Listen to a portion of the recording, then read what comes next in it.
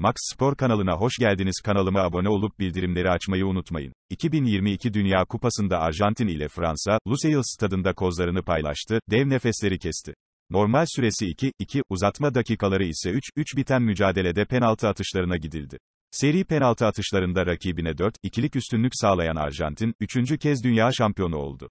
Penaltılarda Arjantinli oyuncular 4'te 4 yaparlarken Fransa, 4 penaltı vuruşundan 2'sini kaçırdı.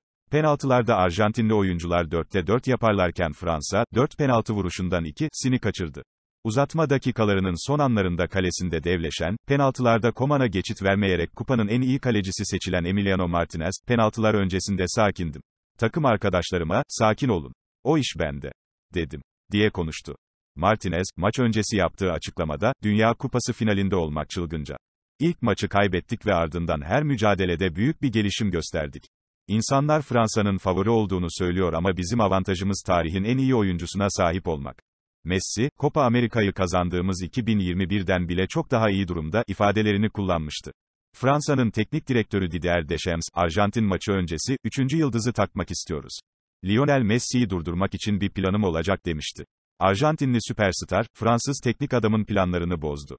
Arjantin, Lionel Messi'nin yıldızlaştığı mücadelede şampiyonluk sevinci yaşadı.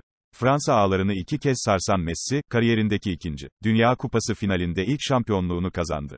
Yıldız Solak, 2014 yılında Arjantin formasıyla, Almanya'ya karşı final mücadelesinde uzatmalarda 1-0 kaybetmişti. Almanya'da Mario Götze'nin uzatma devrelerinde attığı gol ile kaybeden Arjantin'de Messi, 2014'te kaybettiği finali Katar'da düzenlenen 2022 FIFA Dünya Kupası finalinde telafi etti. 35 yaşındaki süperstar Lionel Messi, efsane Diego Maradona'nın 1986'da yaptığı gibi Arjantin'i şampiyon yaptı ve ülkesiyle Copa Amerika'dan sonra ikinci zaferini yaşadı. Dev maç, yıldız oyuncunun Arjantin formasıyla çıkacağı son Dünya Kupası maçı oldu.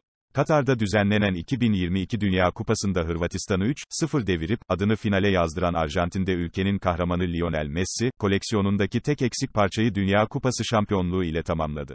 Arjantin'in şampiyon olmasında büyük pay sahibi olan Lionel Messi, turnuvanın en iyi oyuncusuna verilen altın top ödülünün sahibi oldu.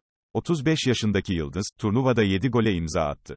Arjantin'in kalecisi Emiliano Martinez, 2022 Dünya Kupası'nın en iyi kalecisi seçilirken, takım arkadaşı Enzo Fernandez, en iyi genç oyuncu seçildi.